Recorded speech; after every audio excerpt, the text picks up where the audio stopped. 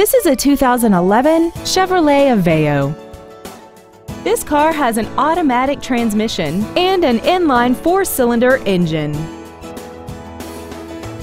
Its top features include air conditioning, a heated driver's side view mirror, a six-speaker audio system, commercial-free satellite radio, performance tires, a bed cover, cargo tie-downs, a passenger side airbag, door reinforcement beams, and this vehicle has less than 11,000 miles.